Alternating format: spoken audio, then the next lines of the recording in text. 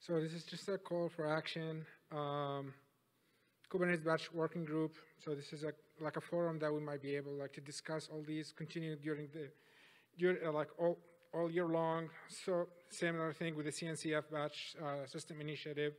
And we also have the CNCF Research User Group.